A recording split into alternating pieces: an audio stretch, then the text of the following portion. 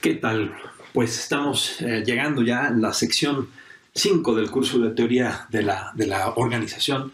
Ya hemos hecho un recorrido por escuelas eh, muy importantes, eh, base, digamos, de una buena parte de la discusión, o una parte importante de la discusión de la teoría de la organización. Y toca el tiempo de una, una nueva teoría, ¿no? Una teoría eh, eh, que probablemente no es tan influyente en la discusión organizacional, pero que ha sido, sí, bastante influyente en la discusión en administración y políticas públicas los últimos 20 25 años. Es una teoría de la organización eh, particular porque deviene de la, economía y deviene, digamos, de los supuestos parsimoniosos y lógicos de la teoría neoclásica y de la teoría, eh, eh, digamos, sustantiva de la, idea del, mercado de competencia y de la idea de cómo funciona un mercado de competencia. También es una teoría influyente porque de alguna forma eh, fue la una base teórica de lo que se conoce como el, eh, el acuerdo eh, o el consenso de Washington, digamos, que diversos organismos internacionales retomaron como pues una especie de guía básica para realizar y proponer reformas muy grandes a, a, a, la regulación económica, a la reforma de los gobiernos, a la manera en que los gobiernos se relacionan con el mercado o el papel que eh, los gobiernos tienen en el mercado. De alguna forma, la base de una, lo que hoy se conoce más como la, una teoría neoliberal, digamos, ¿no? la idea de que eh, el Estado tiene un papel fundamental y ese papel fundamental es crear las condiciones para que se genere una dinámica de, mercado y de competencia y de libre intercambio. Bueno, entonces eh, es una teoría de la organización Interesante porque deviene muchas veces de la propia línea de la economía, pero en diversos momentos es una visión de la economía, de las organizaciones, de la historia, de las instituciones, ¿no? Es decir, ojalá que lo esté explicando bien, digamos, pero digamos, hay, hay, una lógica desde la propia economía que va descubriendo la importancia de las organizaciones. A veces este descubrimiento de la importancia de las organizaciones deviene de, de, de conocimiento propio de la teoría de la organización, como en el caso de Williamson, lo vamos a ver. Pero a veces no, a veces viene más bien eh, de una interpretación desde los supuestos de la economía, de teorías antiguas y, y, y, añejas de la, de la, sociología, por ejemplo, o de la historia o de la propia teoría de la organización, y que lo hacen, eh, eh, digamos, eh, una interpretación de esos elementos más a la luz de los supuestos parsimoniosos de la teoría económica, lo cual eh, de repente hace que sea un poco extraño porque las mismas discusiones que han, se han sido llevadas en teoría de la organización, la teoría, la sociología de las organizaciones, de la teoría institucional, eh, eh, aparecen aquí pero reinterpretadas, ¿no? reinterpretadas a la luz de los argumentos parsimoniosos este, muy abstractos y a, y a, veces muy tipo ideal ¿no? de, la, de la economía. Eh, es importante esta aclaración de alguna manera porque, digamos, sería poco productivo desde mi punto de vista eh, tratar de criticar a la teoría económica de las organizaciones eh, sobre su ignorancia de la sociología y de la teoría de la organización. Eh, digamos, una crítica válida, pues, y, y en muchos sentidos cierta en, en diversos momentos. Eh, pero, digamos, lo que hay que comprender es que esta es una eh, interpretación, es decir, es, es, tratar de acomodar una serie de elementos que han, aparecido en teoría de organización, la sociología de las organizaciones y la sociología, etcétera, a la luz del paradigma de la teoría económica, ¿no? Y en eso está su valía. Su valía, creo yo, está en el hecho también de que lo hace muy parsimonioso, ¿no? La economía es una disciplina sumamente parsimoniosa por sus supuestos muy abstractos, ¿no? Y esos supuestos abstractos que tratan de mantener una congruencia y tratan de que esa congruencia se aplique a la comprensión de la, de la realidad. No quiere decir que eh, es una teoría digamos, este, por lo tanto, integradora y que conoce todos los elementos, sino que en realidad eh, eh, utiliza estos elementos para eh, hacer y mantener un, desarrollo parsimonioso de la teoría económica. Bueno, creo que son los elementos, ¿no? Es una teoría influyente en la administración pública, en políticas públicas, no es una teoría muy influyente en teoría de la organización, estrictamente hablando, pero es poco conocida y poco utilizada, pero digamos, este, sin embargo, para nosotros, en un curso de eh, teoría de organización, en una maestría de administración y políticas públicas, sí, suele, sí, sí suena muy importante estudiarla y creo yo que segundo, estudiarla en los límites y en las consideraciones de los supuestos de esta, de esta teoría. No quiere decir que no haya que criticarla o no se pueda criticar, como lo hemos hecho con todas las otras teorías. Simplemente lo que aquí planteo es que eh, para saber criticar esta teoría, pues primero hay que montarse en el propio argumento de la teoría económica de las, de las organizaciones. Bueno, entonces eso, es lo que vamos a hacer en, esta, en estas dos eh, sesiones, un, un, rápido recorrido que nos va a implicar eh, una, conocer una visión bien interesante y los límites también importantes de una teoría de ese tipo desde el punto de vista organizacional. Antes de comenzar propiamente dicho, digamos, con la discusión de la teoría económica de las organizaciones, eh, yo prefiero hacer una pequeña discusión inicial histórica con el fin de, de, no perderse, digamos, en una discusión muy abstracta, ¿no? Y que vale la pena que sea abstracta, ¿no? Como suele hacer la teoría económica para poder eh, discutir los supuestos y los elementos que la construyen.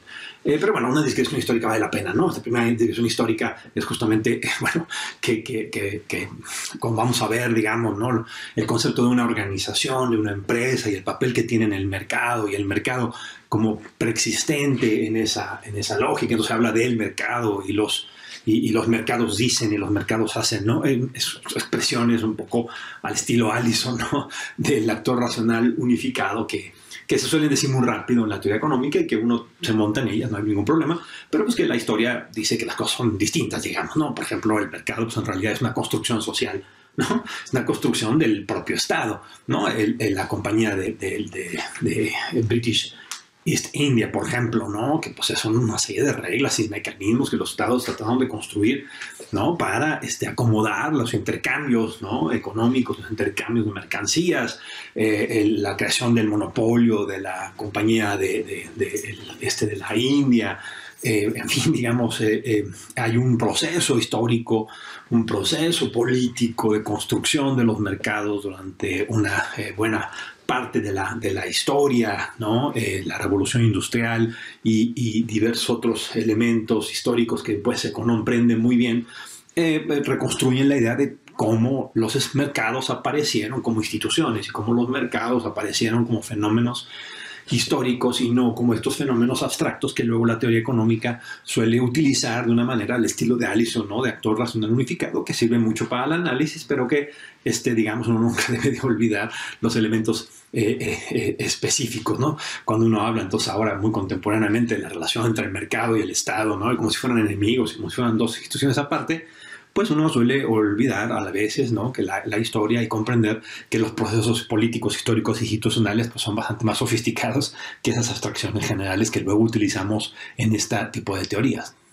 Regulaciones críticas fueron ¿no? elementales para el desarrollo de lo que es la institución del mercado, ¿no? la, como discutimos en algún momento con Coleman, ¿no? la, la, la creación de la legalidad, de los límites de las responsabilidades de la sociedad anónima, la idea de que existe una persona moral y que las empresas son una persona moral, bueno, pues son elementos que hacen, que son fundamentales y que son necesarios de entender eh, eh, para luego eh, poder hablar de lo que hoy en el siglo XX, en el siglo XXI, decimos el mercado, ¿no? Como si fuera una cuestión abstracta, ¿no? Y no una creación política y social que llevó mucho tiempo y que pues tiene procesos históricos, legales y de intervención gubernamental muy importantes, ¿no? Que luego cuando se hace esta discusión de del mercado casi como una existencia natural eh, que preexiste casi a la humanidad o que surge con la humanidad en sus inicios, pues este, digamos, este, es, es,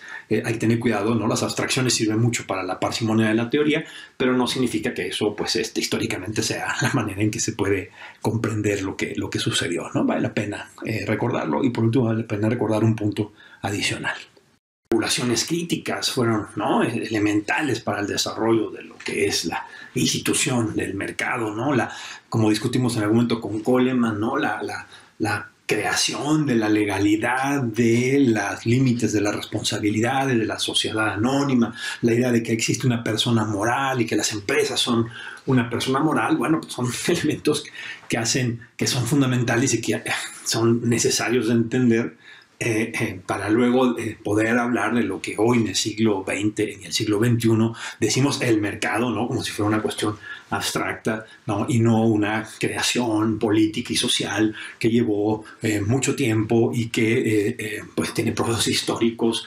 legales y de intervención gubernamental muy importantes, ¿no? Que luego cuando se hace esta discusión de del mercado casi como una existencia natural eh, que preexiste casi a la humanidad o que surge con la humanidad en sus inicios, pues este, digamos, este, es, es, eh, hay que tener cuidado, ¿no? Las abstracciones sirven mucho para la parsimonia de la teoría, pero no significa que eso, pues, este, históricamente sea la manera en que se puede comprender lo que, lo que sucedió, ¿no? Vale la pena eh, recordarlo y por último vale la pena recordar un punto adicional probablemente es importante, digamos, ¿no? para adentrarnos eh, en la discusión eh, de la teoría económica de las organizaciones eh, a través de Olson y, de Coates. bueno, simplemente un brevísimo repaso ¿no? de esta idea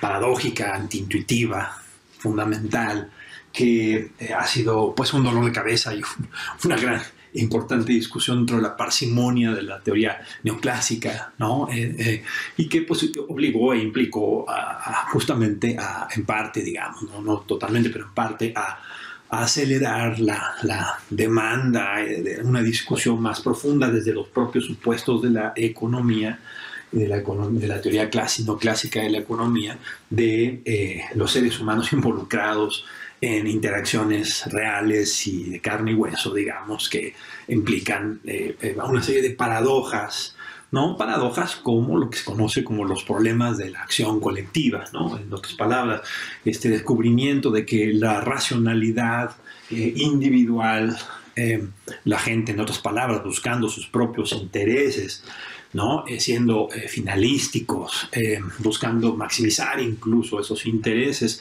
cuando esa irracionalidad individual se genera bajo ciertas condiciones sociales, bajo ciertas condiciones de interacción entre seres humanos de, finalísticos y, con lógicas racionales en la búsqueda de sus propios intereses, eh, esa lucha, esa batalla por buscar sus propios intereses en ese contexto de interacción o en contexto social particular de ciertas condiciones puede generar efectos colectivos eh, subóptimos o negativos. ¿no? Entonces la, la, la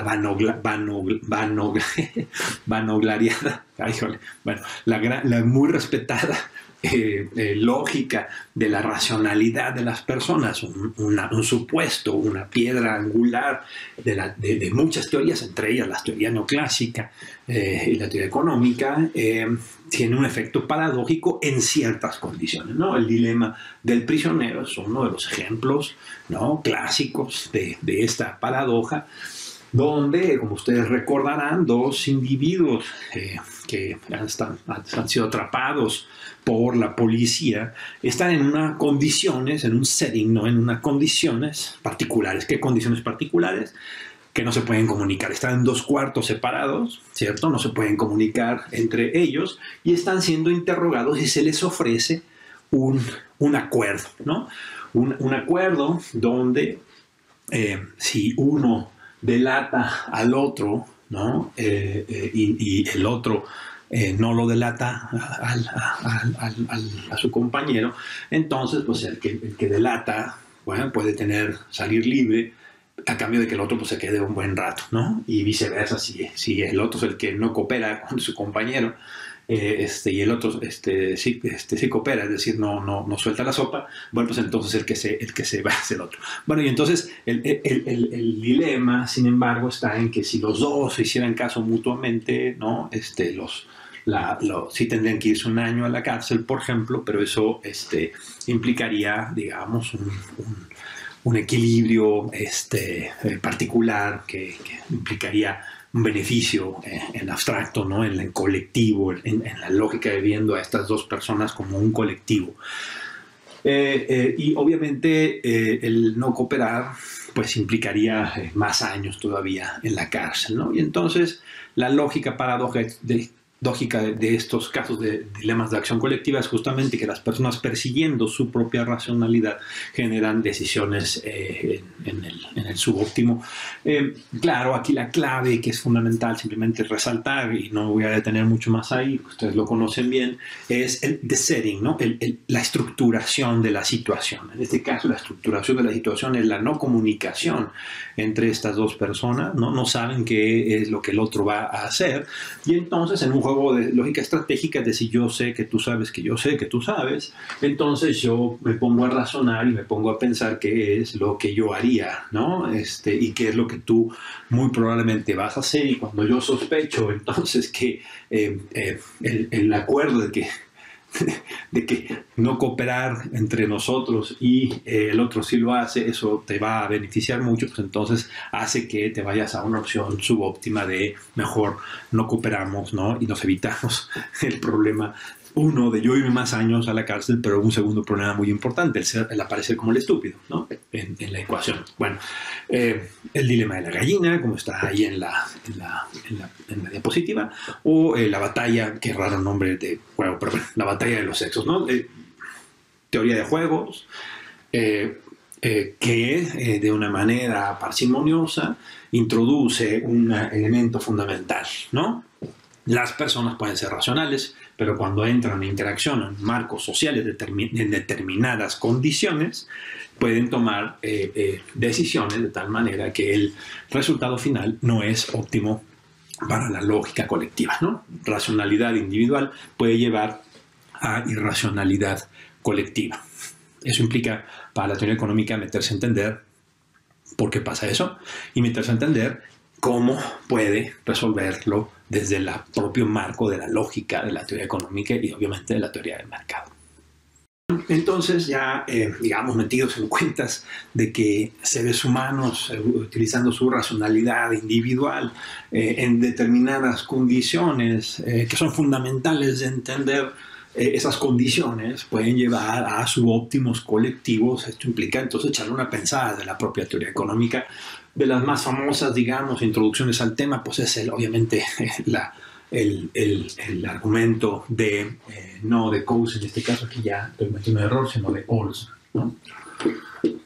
Eh, bajo la idea, bueno, primera, muy eh, rápida y, y, simplista, pero pues efectiva para la teoría económica, ¿no? Las organizaciones son conjuntos de personas que este, potencian sus propios intereses a la luz de pertenecer a la organización. Entonces, la organización se compone de alguna manera por los objetivos de las personas, ¿no? Y las personas y la propia eh, organización protege, digamos, de alguna manera los intereses de sus miembros, ¿no? Eh, bueno, después de todo lo que hemos visto de teoría de organización hasta acá, sabemos que eso este, es una teoría sumamente débil desde el punto de vista organizacional, pero nuevamente, ¿cierto? Es el supuesto de esta teoría y la vamos a tomar a, a bona fide en este sentido, ¿no? Bueno, entonces, organizaciones eh, objetivos colectivos, ¿no? A partir de proteger los intereses de, los, de, los, de las personas, de los miembros de la organización.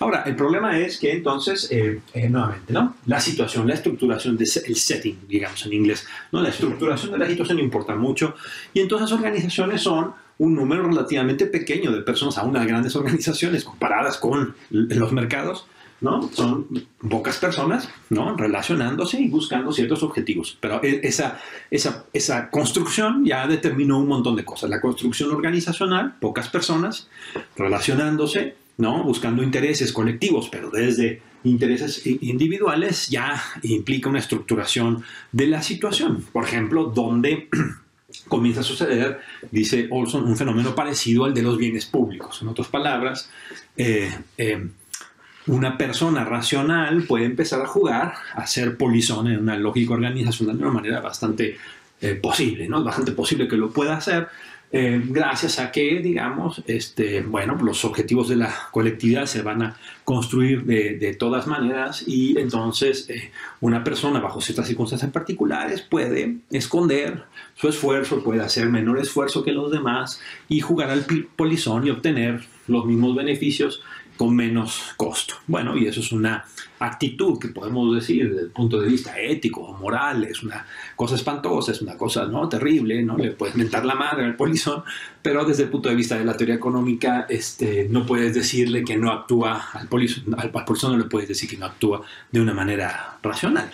Eh, y si eso es así, pues entonces el supuesto es que, bueno, en promedio cualquier persona que se encuentre en esas situaciones, en una estructuración de una situación donde puede aprovecharse como un polizón de lo que, eh, de, lo que otros están haciendo para obtener más beneficios y, o a través de, menos costos, pues en general lo, lo hacer. Entonces las organizaciones son un, eh, sí, están compuestas de seres humanos racionales, pero la estructuración de la relación, la situación en la que eh, estos actores, pocos actores, están relacionándose, tienden a llevar a un dilema de acción colectiva que es el polizón, ¿no? El polizón, repetimos, ¿no? Simplemente insistimos, se le puede acusar de muchas cosas, pero no se le puede acusar de racional, dado que se aprovecha racionalmente como individuo de una situación estructural, una estructuración que le permite con cierta probabilidad salirse con la suya de ser un polizón. ¿no? las organizaciones viven este dilema y es importante comprender pues, que eh, eh, eh, hay que, digamos, estudiar cómo resolver el asunto desde el punto de vista de la, visión de la racionalidad de las personas.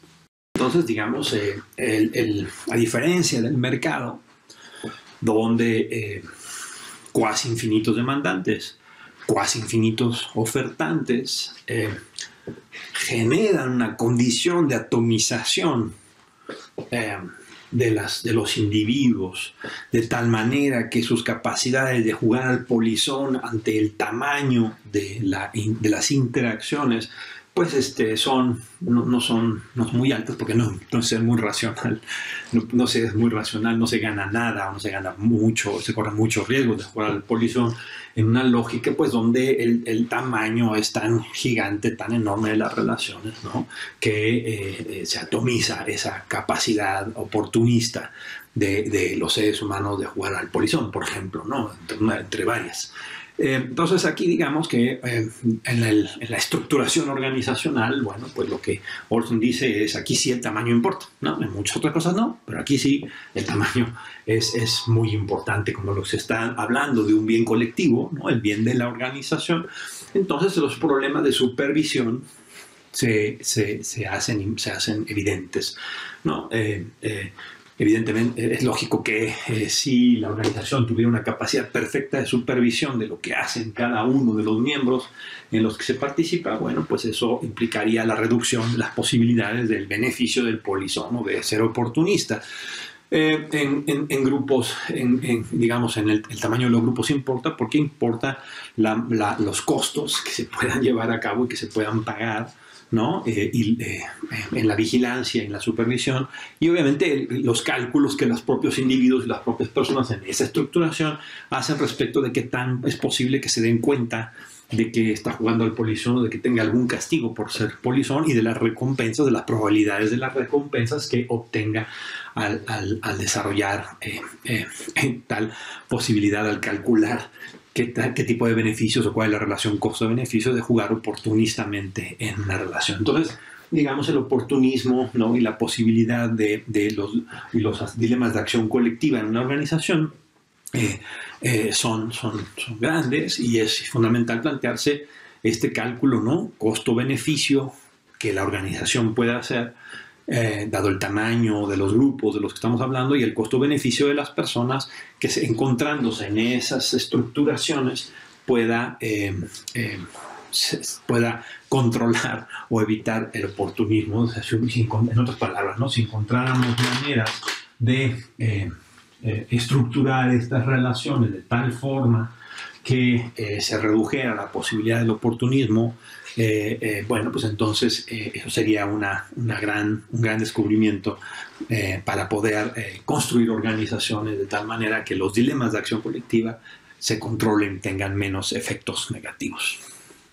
Entonces, digamos, ¿qué pueden hacer las organizaciones para enfrentar los dilemas de, de acción colectiva? ¿no? Hay que comprender primero que la naturaleza humana aquí juega un papel muy importante. ¿no?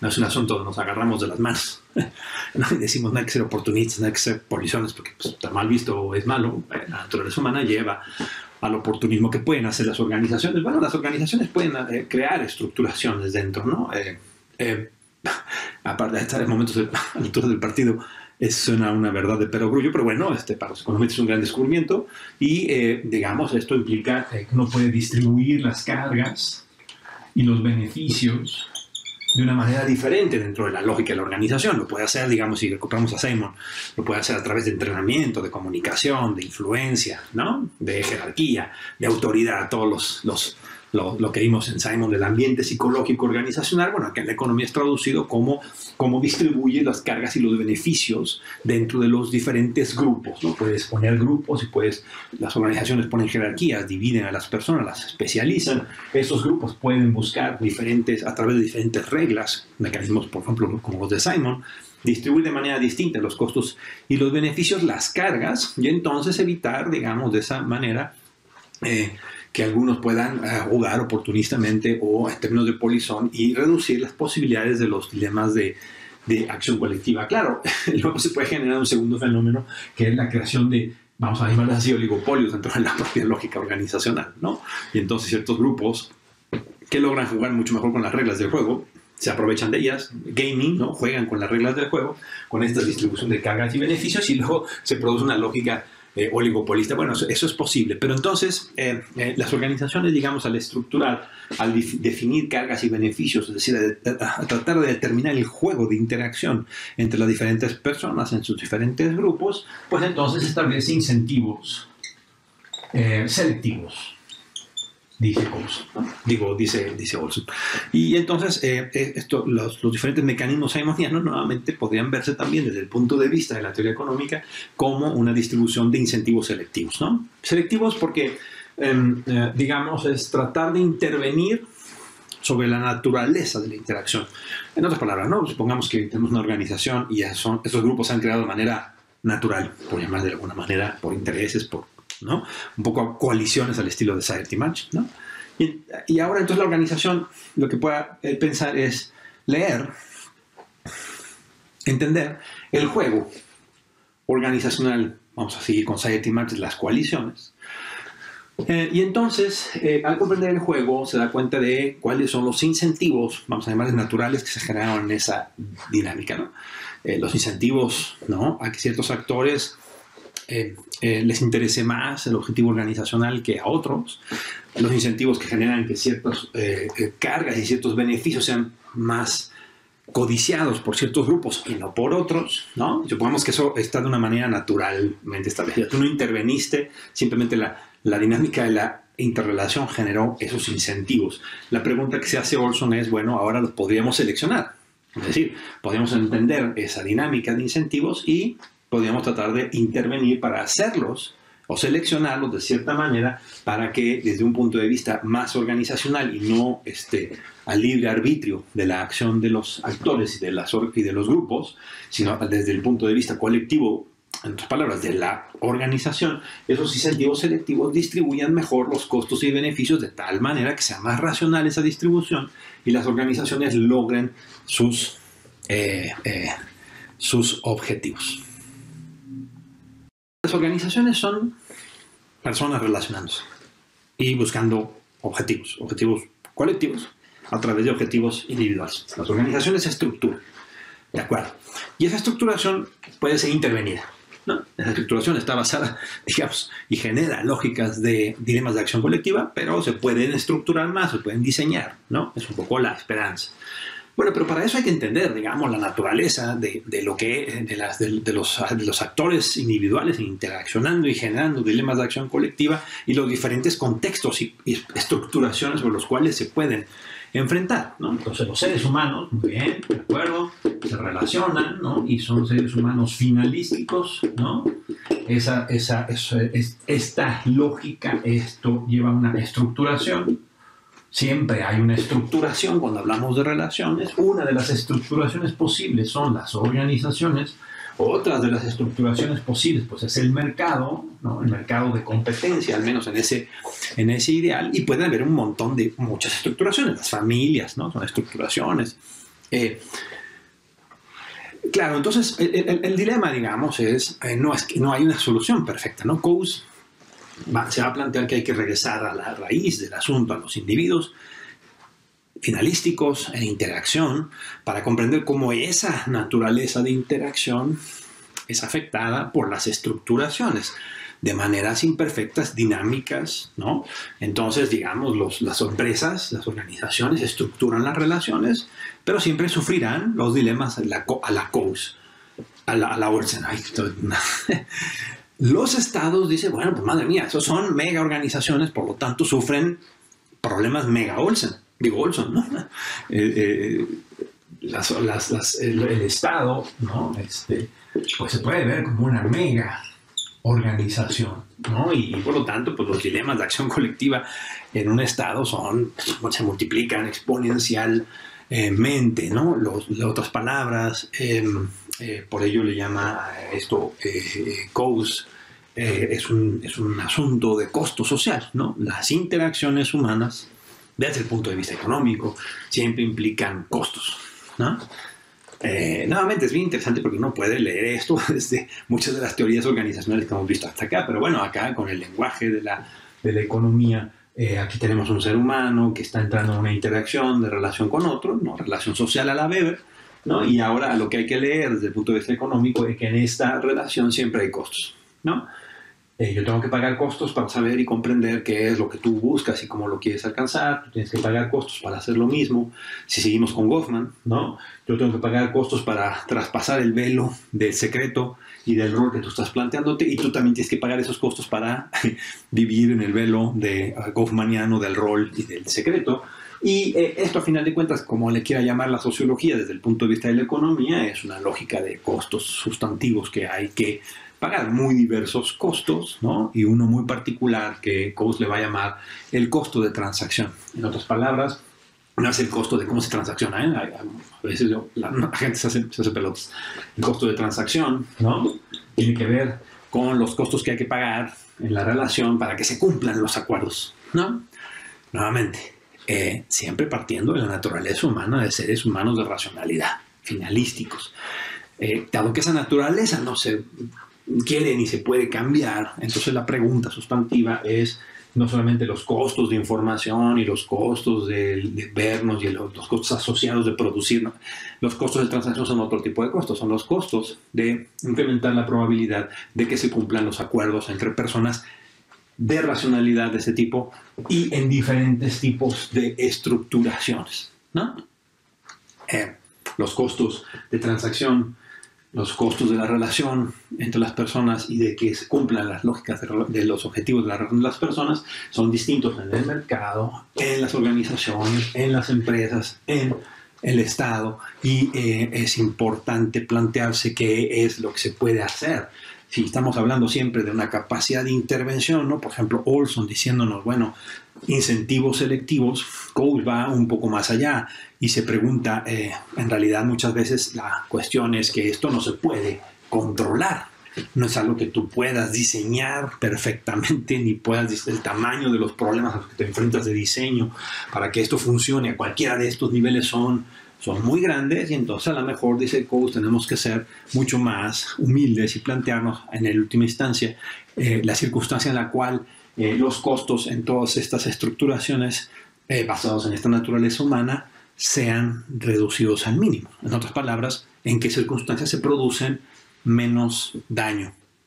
Una visión de Coase muy humilde, ¿no? que eh, creo yo muchas veces en teorías posteriores se va a, olvidar esta humildad de la que está partiendo Coase. ¿no?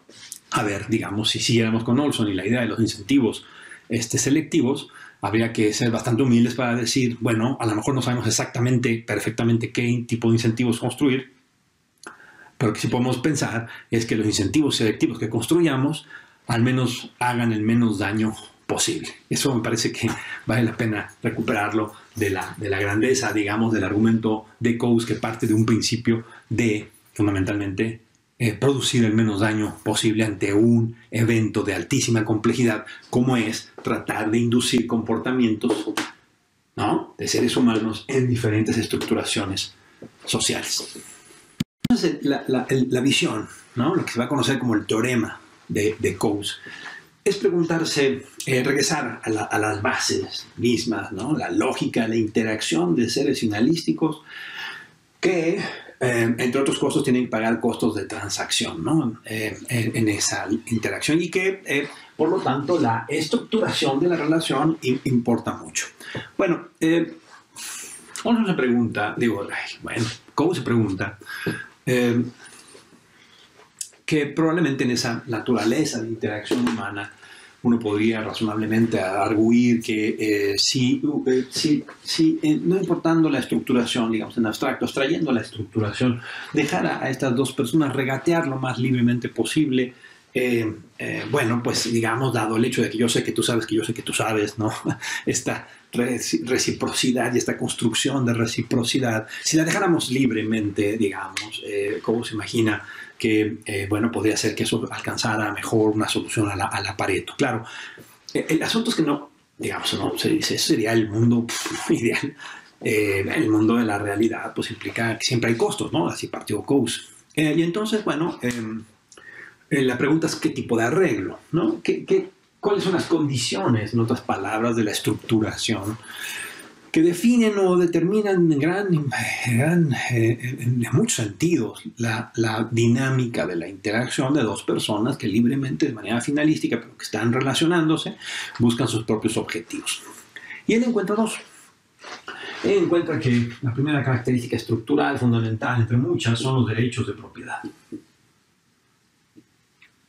Lo que yo poseo, qué derechos tengo, lo que tú posees, qué derechos tienes sobre ellos qué tan claros son esos derechos, ¿no? Qué tan evidente para todos o para ti, para mí en esta interacción es que yo tengo ¿no? un derecho inalienable, no me lo puedes quitar, o que es compartido colectivamente contigo, que tenemos mitad y mitad, o que eh, eh, ah, no solamente somos tú y yo, sino hay otros involucrados, o que este, bueno, en fin, digamos, ¿no? Sí, qué tan, qué, qué, tan claros son los derechos de propiedad, qué tan claros están en la interacción, pues son una de las variables fundamentales, ¿no? Si estamos en una relación de reciprocidad, yo tengo algo que tú quieres, tú quieres, tienes algo que yo quiero, qué tan claro es las reglas de esos derechos de propiedad.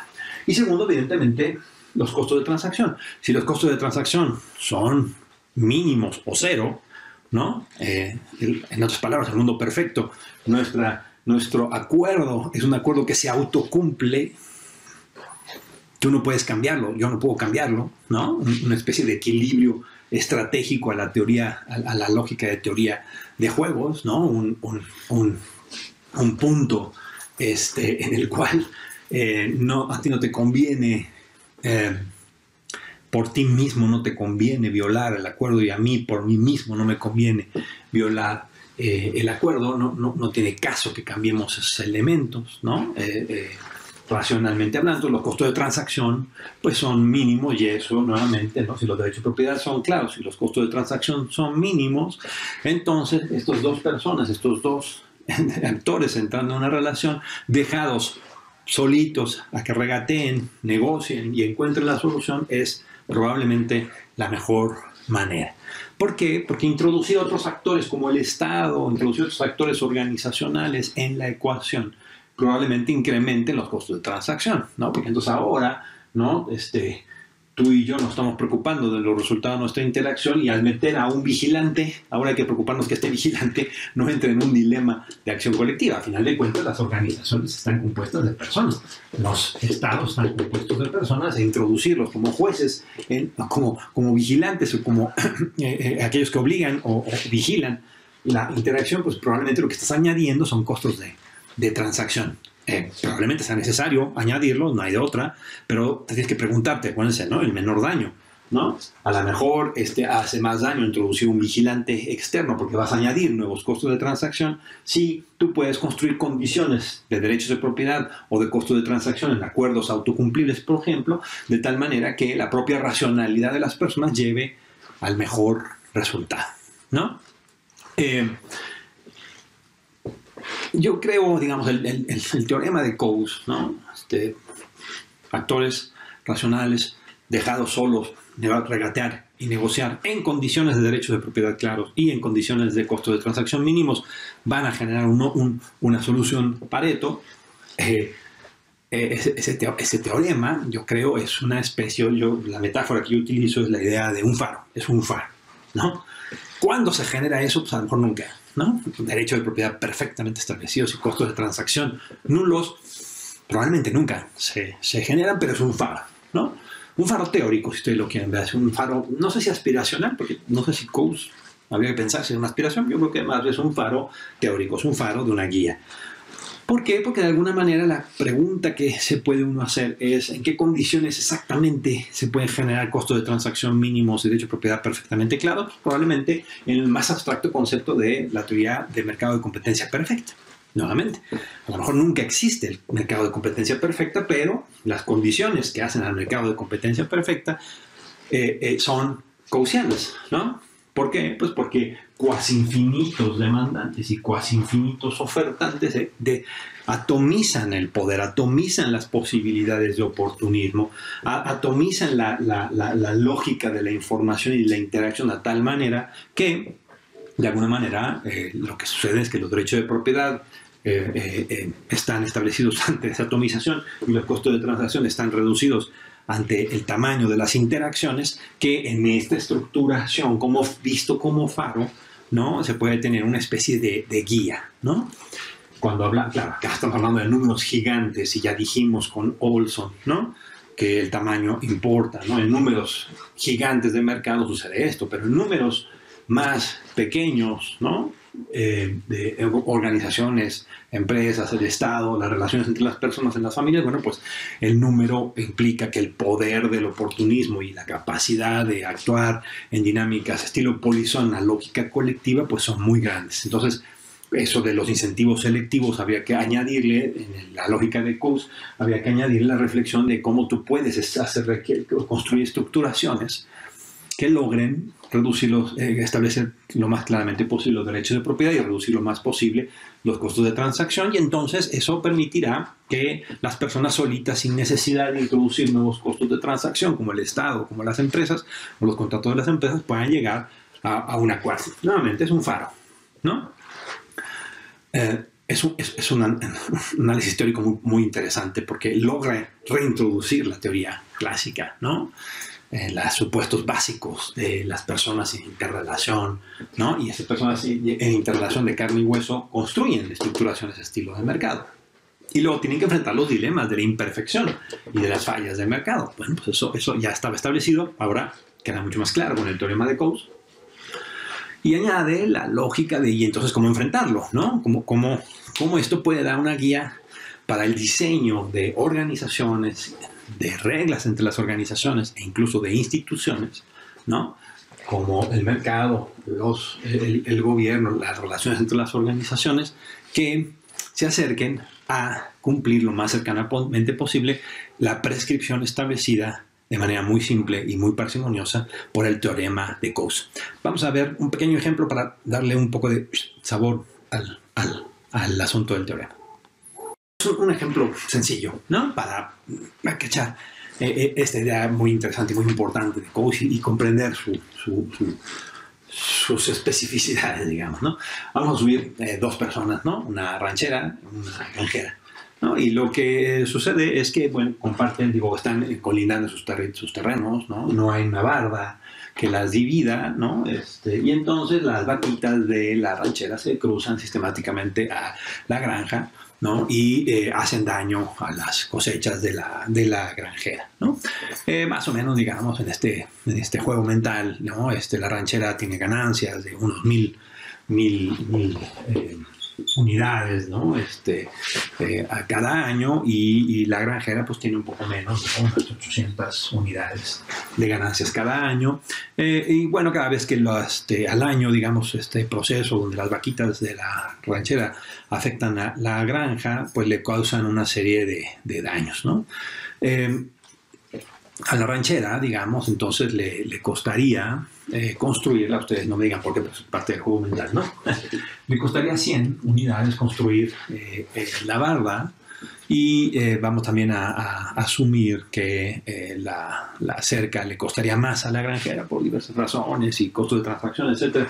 A ella le costaría 400 unidades construir la granja y el daño general que le causa ¿no? este, eh, eh, a, la, a, la, a la granjera, pues este, vamos, básicamente, se produce 300 unidades de, daño, estar permitiendo pues este fenómeno de las vaquitas llevándose parte de, las, de, sus beneficios, ¿no? A comérselas.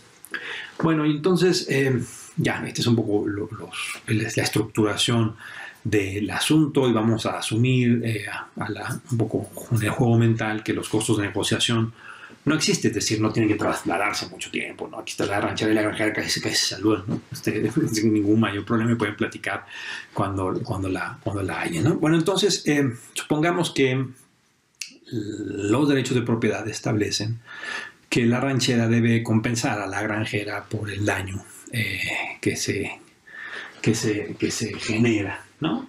Y entonces este, tiene dos opciones, ¿no? No hay de otra, tiene que o le da los 300 de daño o se gasta 100 en producir la, en construir la, la cerca. Bueno, juego 1, los derechos de propiedad están ahí sí establecidos, ¿no? Y como no hay costos de transacción, no se pueden engañar, ¿no? Este, la estructuración del juego, ¿no? Implica que le conviene a la ranchera pues construir la, la cerca, porque pues, andar pagando 300 es mucho más que, que, pagar una vez, una vez 100, ¿no? Este, por la cerca. Bueno, pero supongamos que la cosa no es tan sencilla y supongamos que los derechos de propiedad establecidos es que eh, no hay nada que obligue a la ranchera a construir la, la, la, la cerca. La, en otras palabras, la granja no puede, le mandara, no puede llamar al Estado, no puede meter a la policía, este, no puede hacer nada porque pues, por alguna lógica de derecho de propiedad, pues los animalitos pueden andar libremente y pues, las fronteras no están establecidas. Y entonces la pregunta en esa situación es qué es lo que sucedería con la, con la cerca, quién produciría la cerca en el segundo caso donde los derechos de propiedad establecen que la ranchera no tiene ninguna obligación de entrar en, en el acuerdo.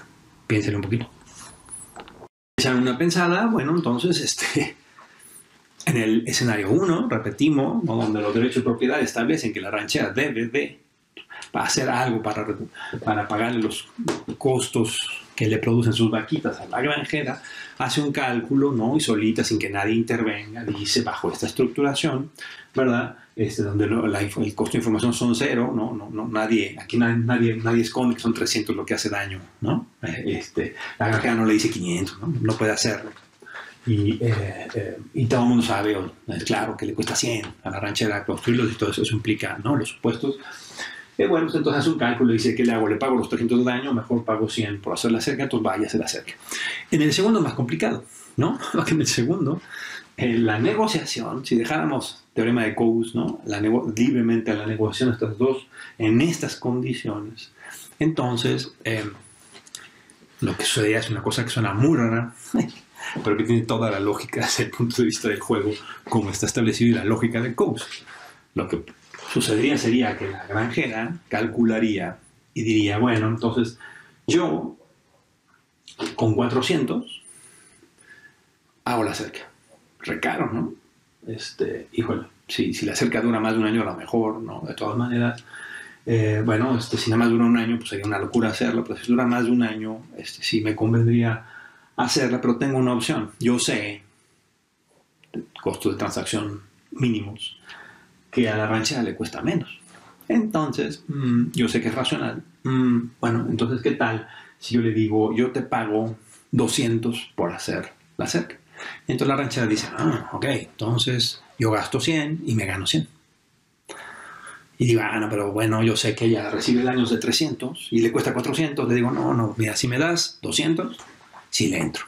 Y entonces la granjera llega y dice, mm, en este regateo dice que me conviene, ¿no? Todavía 200 es menos que 400, si dura más de un año es una cosa muy padre, me sale menos que 400, yo sí lo puedo pagar. Y eso me ayudará a no estar teniendo estas pérdidas. Ah, pues sabes que, este, ranchera, pues ahí te van 200 y tú construyes digo, este, incluso puedo llegar un poco más, ¿no? 200 y tú construyela, 250 y tú construyela, ¿no? Y todavía yo salgo eh, ganando en ese elemento y la ranchera entonces va, se gasta 100 y no solamente obtuvo, no solamente produjo la, la, la cerca, sino además hasta tuvo, hasta tuvo ganancia. claro, es muy extraño porque uno puede decir, madre mía, qué injusticia, ¿no? que la granjera haya tenido que acabar pagando dinero, pero sin tomar en cuenta esos elementos, ¿no? lo racional solitos llegan a un, a un, a un punto de pareto.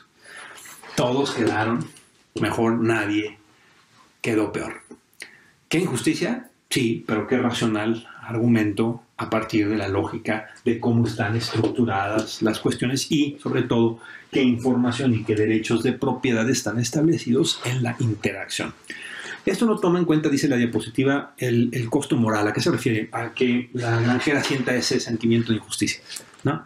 Y diga, no, no, no, mi sentimiento de injusticia vale 200, ¿no? y entonces por ningún motivo yo le voy a dar 200 a la ranchera, Este, malvada, que ella por pura asunto moral debería de, de, ayudarme a hacerla cerca, aunque yo sé y comprendo que no tengo ningún mecanismo para obligarla a hacerlo, dado los costos de los derechos de propiedad establecidos. ¿Ok? Bueno, entonces, em, eh, esta, esta primera sesión nos ha permitido introducirnos a, eh, muy abstracta, muy parsimoniosa teoría ¿no? este, de la economía para ir introduciendo a la lógica organizacional. La lógica organizacional es una lógica de soluciones muy importantes, eh, necesarias dado el tamaño, ¿no? dado el, dilema del tamaño y los dilemas de acción colectiva que se establecen en la, eh, la dinámica organizacional, resuelve muchos problemas de la lógica de, de, de, los mercados de competencia, que es muy difícil que existan en este sentido las palabras, se necesitan organizaciones, se necesitan empresas, firms, ¿no? Pero eso añade nuevas variables, ¿no? variables de dilemas de acción colectiva, de incentivos selectivos, y con el teorema de Coase además añadimos la lógica de un faro. ¿no? Si, si, si, si, bajo ciertas condiciones tú dejas a las personas negociar su propio camino, eh, esas condiciones siendo mínimos costos de transacción y derechos de propiedad claros, el óptimo pareto, o por lo menos un punto pareto, aparecerá en la interacción. Eh, eh, eso en las relaciones entre las personas que se puede ir expandiendo en las relaciones de las organizaciones, las relaciones de los gobiernos, las relaciones de mercado eh, en general. Se tiene una, una caja de herramientas bien interesante, ¿no? Eh, ah, mi caja de herramientas está en derechos de propiedad claros y reducción lo más posible de los costos de transacción en la medida que nuestra caja de herramientas logre eso, las interacciones entre las personas serán racionales, ¿no? No en el sentido puro, en el sentido realista de la palabra, de la interacción de seres humanos de, racionales y finalísticos que son capaces perfectamente de generar subóptimos colectivos tomando decisiones racionales individuales. Tomando en cuenta eso como una verdad sustantiva, ¿no? Entonces la cuestión es, eh, la caja de herramientas es muy poderosa dado que eh, bajo el supuesto de esos actores que tienen que relacionarse en ciertas estructuraciones, eh, esas estructuraciones, si son construidas bajo el teorema de Coase, permitirán eficiencias y óptimos que de otra manera serían imposibles de alcanzar, ¿no? Y esta va a ser la base teórica de un montón, de un montón de ideas que van a surgir después y que han sido, decíamos al inicio de esta sesión, sumamente potentes para la reforma del Estado, la reforma del mercado, la reforma, las regulaciones, la, creación de nuevas lógicas de regulaciones económicas, sociales y políticas, ¿no? Que han partido eh, de alguna manera de estas bases analíticas. En la próxima sesión lo que haremos será llevarlo a un punto de aterrizaje mayor a través de la idea de, eh, y qué sucede ya en el mundo de la realidad, entre comillas, de las instituciones y de las organizaciones y eh, eh, cómo ello va a tener toda una implicación este, teórica y política de las capacidades de esta teoría para producir y proponer reformas, modificaciones eh, a organizaciones, a gobiernos, a mecanismos de regulación que han sido pues sumamente famosos y, ha sido una teoría sumamente utilizada y también nos permitirá entender los límites de esta eh, teoría económica de las organizaciones. Ah, en la próxima sesión lo veremos con más calma a través del concepto ¿no? o la escuela que ha sido conocida como el nuevo institucionalismo económico. ¿vale? Chao.